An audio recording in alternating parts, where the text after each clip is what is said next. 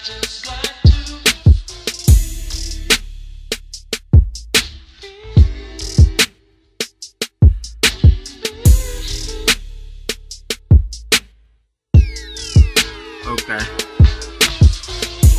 The book say prove all things.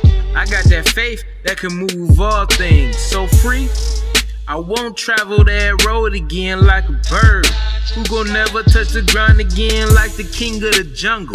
Who can wear his crown again? If you really wanna know what makes you free, John 8:32, that's the truth. We work hard just to make it, and not a soul gon' take it. His chosen people, slaving just to make some change. Not talking under the table, but we underpaid. Found the most high, told my mom there's not a phase.